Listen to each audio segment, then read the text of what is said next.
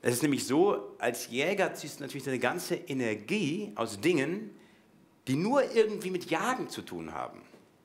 Ja? Und als Sammler wiederum ziehst du deine ganze Energie aus Dingen, die nur mit Sammeln zu tun haben.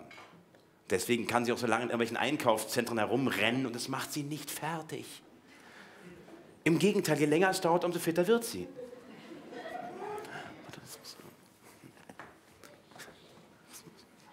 Hey, das war die. Was mitnehmen.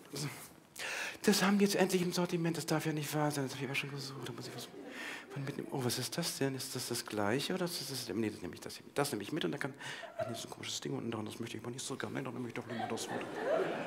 Oh nee, ich nehme das andere, mache das Ding ab und dann ist es genauso gut oder besser. Nee, da geht es kaputt, da habe ich keine Garantie mehr. Oder nehme ich das, aber das gefällt mir doch besser. Ich gefällt mir das besser, weil wenn das Ding abwehrt, wenn, da fällt es besser. Aber das, nee, dann, also entweder nehme ich das, wo es nicht so gut ist, oder dem Ding, das ist besser. Ah, nee, kurz überlegen. Also entweder mache ich das oder das mit dem Ding oder ohne Ding. Oder, die ist mir irgendwie zu kompliziert, ich weiß gar nicht.